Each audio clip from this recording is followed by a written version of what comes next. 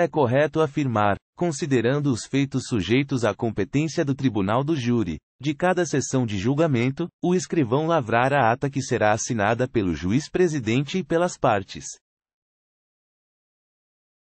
Analisando a questão, você responde: verdadeiro ou falso?